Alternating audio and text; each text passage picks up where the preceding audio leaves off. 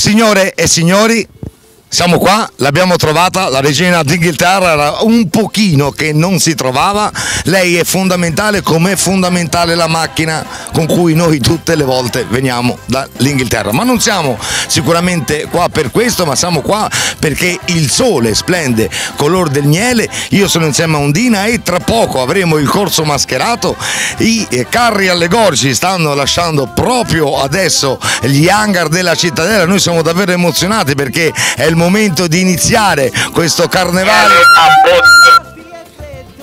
ma, ma, ma, ma, ma come a posto? Ma perché ride? A posto Daniele, a posto. Ma non c'è il corso? No, devi iniziare la trasmissione. Non c'è il corso? No, non c'è, siamo vicini, però non è ancora iniziato e mi sono sbagliato, anche i grandi sbagliano. Comunque con la macchina dall'Inghilterra noi continuiamo il nostro viaggio alla scoperta delle opere allegoriche di questo Carnevale di Viareggio 2020.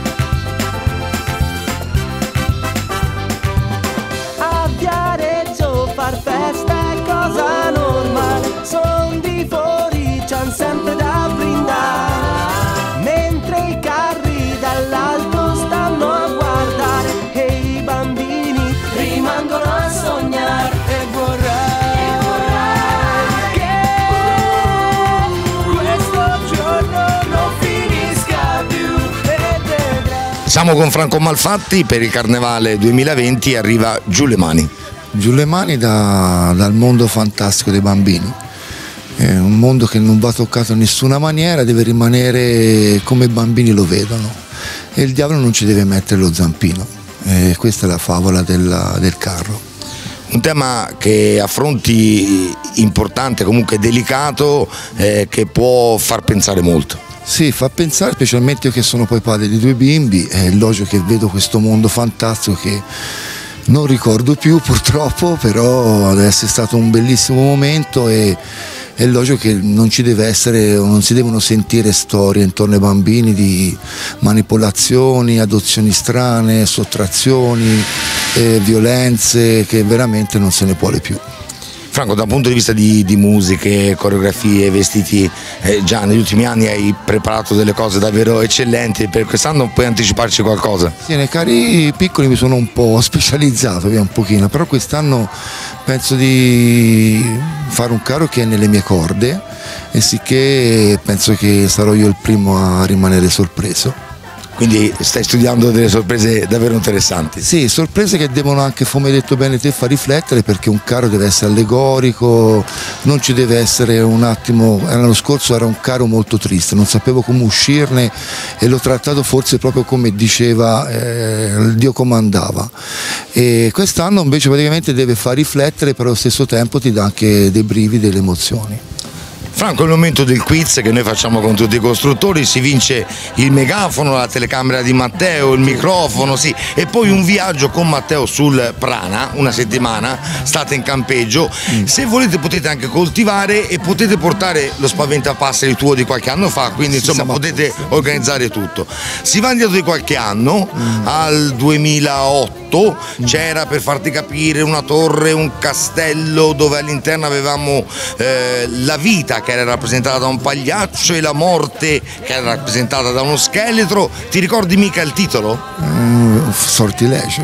Chi lo fece? Eh, lo fece Franco il Malfatti. Quindi Franco vince, vince tutti questi premi e più che altro è importante questo viaggio sul Prana con sì, Matteo. Sì, sì, me lo porto dietro volentieri anche perché starò con lo spaventapassi e lo farò fare a lui lo spaventapassi. Ah, ok, siamo a posto, siamo a posto. Grazie Franco. Okay, ciao.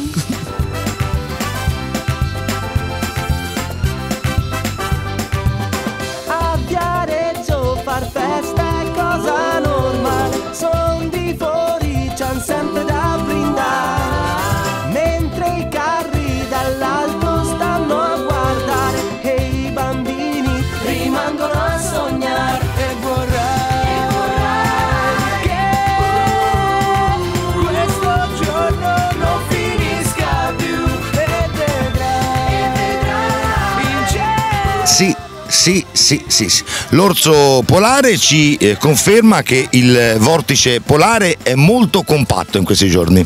Ma cosa ci incastra il vortice polare? Andiamo a vedere le mascherate di gruppo che è meglio. Novecento di Libero Maggini. Se c'è qualcuno che è riuscito a giocare facendo arte con razionalità e inconscio, questo è Pablo Picasso.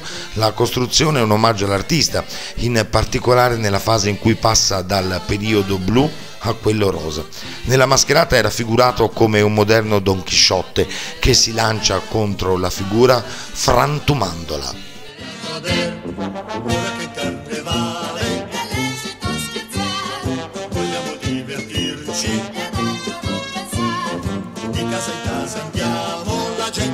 Populist Art di Giampiero Ghiselli su progetto di Maria Chiara Franceschini. Ai tempi del populismo e degli imbonitori, secondo i costruttori, vince chi sa usare la strategia del venditore, diffondendo paure verso il diverso per aumentare il senso di rabbia e frustrazione nelle persone. E da allora l'assonanza con la popular art, il movimento artistico americano degli anni 60, ispirato al consumismo, ai fumetti, alla pubblicità e ai prodotti di massa, è facile e immediato. Nel nostro caso è Trump, nei panni di Superman, il protagonista della nuova populist art. Siamo le maschere, apri siamo le messaggere. Siamo con Paolo Corti, direttore della Carnival Lab Academy. Cosa troviamo all'interno di questo contenitore? Ma intanto possiamo dire che è un contenitore molto innovativo perché la prima accademia del carnevale in Italia, strutturata ufficialmente con dei programmi formativi e con tutte le caratteristiche per far diventare, io uso una metafora che è quella del diamante polveroso. Bella. E la metafora è semplice, alla fine tutto il mondo del carnevale è un bellissimo diamante, a volte la polvere ci si deposita, però se ci soffiamo sopra lo possiamo far risplendere. E la Carnival Lab Academy direi che ha proprio questo significato, che è quello di far brillare e dare valore all'immenso patrimonio artistico, artigianale, unico nel suo genere, direi nel mondo quindi farlo conoscere a tutti il più possibile e questo contenitore ha un'entrata e un'uscita. Come entrata ci facciamo affluire tutta la formazione, l'innovazione, l'internazionalizzazione che è necessaria per far crescere il carnevale e quindi farlo brillare al massimo. Quindi i carristi e tutti i maestri stessi diventano allievi a loro volta per cercare di rimanere al passo con i tempi e proporre sempre nuove cose. Al tempo stesso i carristi, i maestri possono diventare anche insegnanti per tutti coloro che vogliono imparare, vogliono capire come funziona questo mondo, sto pensando ovviamente ai giovani. E allora alla fine la Carnival Lab Academy diventa un punto d'incontro, diventa un luogo dove si fa cultura, arte, si impara anche l'artigianato, un artigianato molto particolare e cercando anche di fargli di travalicare i confini locali per farlo diventare nazionale se possibile internazionale perché è veramente un diamante unico al mondo. Paolo, ci sono già alcuni progetti che stanno andando avanti e sono eh, davvero interessanti. Sì, c'è un progetto molto bello che è partito diversi mesi fa in collaborazione con la CNA per 14 ragazzi, un progetto finanziato dalla Regione Toscana con cui eh, i ragazzi imparano il mestiere di addetto alla costruzione di macchine festive, questa è la definizione ufficiale e adesso sono in stage presso i carristi e poi ci sono altre iniziative in corso, soprattutto nelle scuole e poi insomma il programma nel corso del 2020 sarà molto nutrito. Paolo, per chi può essere interessato a, a, a chiamarti, a contattarvi per l'Accademia, come, come deve fare? Allora direi la cosa migliore è scrivere direttamente alla fondazione all'indirizzo segreteria chiocciolailcarnevale.com citando Carnival Lab Academy e la mail arriva ovviamente direttamente a me e poi a quel punto io risponderò a tutte le varie domande che possono venire dagli istituti scolastici, da singoli cittadini e sono pronto a rispondere a tutte le domande. Io ti ringrazio per la disponibilità e, e grazie per il lavoro che stai facendo. Grazie a voi. avanti, ecco qua Pulcinella, Maccaronata e Napoli, Arlecchino e Brighella, Piazzetta e Redentor. Burlamacco sai che fa? Manda la pubblicità. Pubblicità. Fanno tutto loro. Vabbè, eh, io vado via.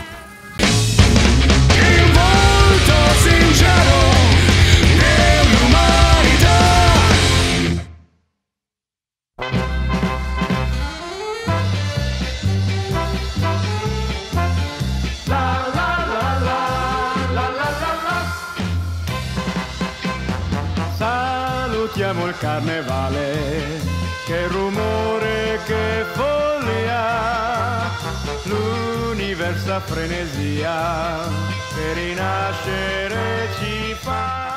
Siamo con Benji e le Bigre, intanto ciao. Ciao. Parliamo del Carnevale 2020, arriva Home Sweet Home. Sì, arriva Home Sweet Home, capitolo finale della nostra trilogia del viaggio che è eh, cominciata ben tre anni fa, come il bando di concorso vuole, e siamo arrivati alla consapevolezza Dopo questo viaggio iniziatico attraverso lo spirito di Don Quixote, che è un grande sognatore, no? il sognatore per eccellenza, fino a passare eh, dallo spirito di Frida Kahlo, lo spirito guida di Frida Kahlo che ci ha accompagnati attraverso i muri de- del preconcetto, dell'ignoranza, verso una meta migliore, abbiamo capito, alla fine siamo arrivati a, eh, a tirare fuori nella nostra coscienza il fatto che casa nostra, ovvero il nostro pianeta, la Terra, è il pianeta che abbiamo, non esiste un pianeta B e dobbiamo prendercene cura. E abbiamo preso come allegoria il, il romanzo del mago di Oz, che racconta questo viaggio di una piccola bambina questo, trasportata da un uragano in questo mondo fantastico dove incontra nel suo cammino uno spaventapasseri che ha perso il suo cervello, un uomo di latta che ha perso il suo cuore e un, um, e un leone che ha perso il suo coraggio. E noi attraverso questi tre personaggi che saranno dietro questa bambina che ha il volto di Greta Thunberg, la bambina svedese che adesso, che è una ragazza, ha compiuto 17 anni il 3 gennaio, e um, attraverso i loro valori vogliamo riportare, risvegliare le coscienze di chi sta a guardare il carro per ricordare che abbiamo una sola terra e nessun posto è migliore che casa nostra, no? There's no place like home, che è il sottotitolo anche del carro, non c'è nessun posto come casa. Benji, intanto diamo un'altra botta qua, facciamo girare. Sì. eh. Aspettate, eh? Vai. Magia, vai. Vi ipnotizziamo tutti. Parliamo un po' delle coreografie della musica, siete maestri in questo, se puoi anticiparci qualcosa. Allora, quest'anno, eh, grazie, noi produciamo tutto in casa e eh, grazie a Stefano Florio eh, stiamo preparando una colonna sonora che varierà di- in diversi, diversi ritmi, diverse intenzioni, quindi abbiamo dei momenti un po' più acidelli dove ci sono delle pubblicità, non progresso ma regresso. Abbiamo un momento molto poetico dove si risveglieranno le nostre coscienze umane e poi abbiamo Bassanese che come ogni anno ci ha preparato una colonna sonora ad hoc e, eh, e col- con le coreografie vogliamo proprio illustrare come secondo noi in- in un'allegoria va il mondo in questo momento, no? quindi ci sarà una parte molto eh, politicizzante, ma intesa più come non, non come la politica in sé, ma come l'inquinamento, eh, si dice noi in casa climatoscettici, no? quelli che pensano che non c'è nessun problema, no? che non esiste nessun problema e quindi gli imbonitori che ne faranno parte, un grande popolo che è il popolo di Oz che sta a rappresentare proprio questa cosa qua e una parte invece di, di risveglio delle coscienze che rappresenterà la natura a nostra maniera e anche alla maniera del carro soprattutto e eh, niente vogliamo poi stiamo preparando questa cosa insieme a tante persone che ci danno una grande mano e boh, sarà un bel lavoro per il momento spero noi siamo contenti Benji, adesso è il momento del quiz. oddio no Eh no, no, il quiz ci vuole. È, è bello, è importante, è importante il quiz. Allora, andiamo indietro di pochi anni è un carro di prima categoria, arrivò molto bene in classifica, c'erano delle scimmie se non mi ricordo male, c'era tanta carta, erano dei faldoni, parlava un po' di burocrazia, non so se se lo ricorda. Non lo so, aspetta, come fanno tutte le subrette. Giriamo il rullo di tamburi. È burocresi, è burocresi, è burocresi, no? Esatto, e chi lo fece? Noi! Bravo! Quindi voi vincete, vincete, vincete il megafono, la telecamera di Matteo, le cuffie di Matteo e poi Matteo mon- monterà una piattaforma sul lago di Massacciuccoli. Ok. Lui farà regista tutto, farà anche le scenografie. E te che ti piace il tanto potrai esibirti tutto l'anno. Grazie, una- un, Matteo. viaggio, un viaggio bellissimo. Ma com'è questo Matteo? È bravo, è bravo. Grande, grande Matteo. Grazie di tutto. Grazie a te, grazie a voi, grazie Matteo. Bacio, bacio. Bacio. Per ora vi prendo la telecamera.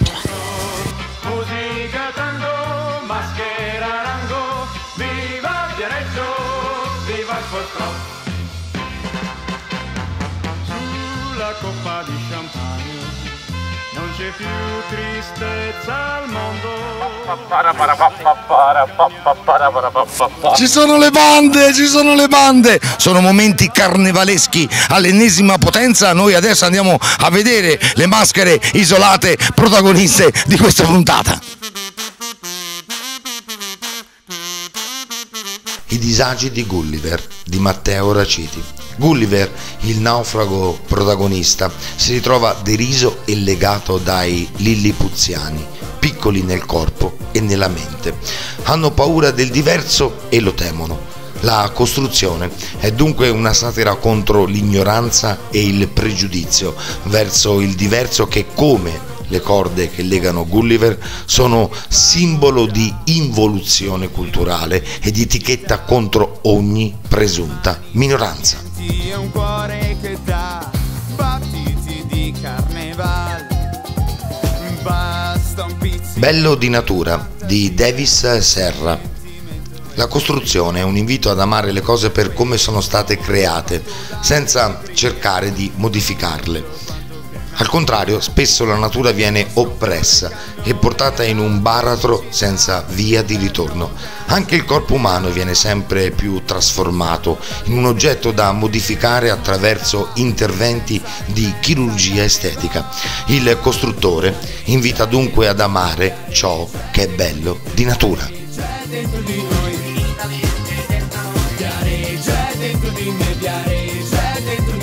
Si è concluso questo corso mascherato del carnevale, abbiamo da poco sentito i tre colpi di cannone, l'appuntamento è a domenica prossima e ovunque voi siate ricordate che Viareggio il carnevale cosa sta facendo? I fuochi artificiali. Ma è una cosa pazzesca, non si può andare avanti così, stiamo arrivando a un punto di non ritorno, no? No, no, io non li conosco e non ne voglio più sapere. Ci vediamo settimana prossima e, e arrivederci. Poff. Ah, e i fuochi. I fuochi. Carristi a posto! Eccoci tutte quante, l'uomo si ha le maschere